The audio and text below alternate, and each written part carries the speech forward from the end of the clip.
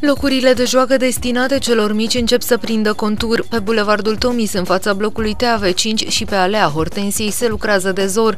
Zilele acestea urmează să fie turnat al doilea strat al covorului antitraumă. Imediat ce se vor finaliza lucrările în cele două spații de joacă, urmează ca echipele să se mute pe strada Baba Novac și pe alea viitorului.